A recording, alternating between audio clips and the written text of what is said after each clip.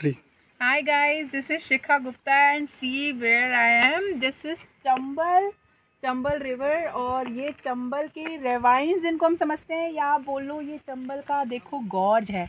हमेशा आप पूछते हैं ना गॉर्ज या कैनियन क्या होता है मैम तो यहाँ को रियल दिखा रही हूँ मैं गॉर्ज या कैनियन क्या होता है। आप देख सकते हो चंबल ने कैसे काटा है इसको। और आप देखोगे, उधर साइड देखोगे आप, ये आपको पूरी पहाड़ियाँ ऐसे गोल गोल घूमती नज़र आ रही है। क्योंकि चंबल का ट्रैक जो है पूरा ऐसे राउंड एंड राउंड जिसे हम बोलते हैं मियंडर कर रही है, विसर्प बना रही है नदी।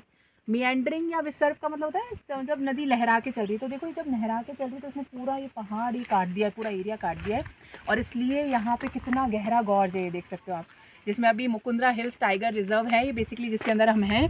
और ये जो जगह है, गरड़िया महादेव टेंपल है।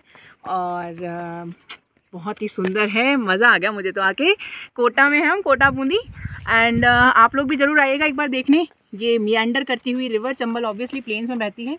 और इसने पूरा ये आप देखोगे, चारों ओर का नज़ारा आप देखोगे पूरा बीहड़ है।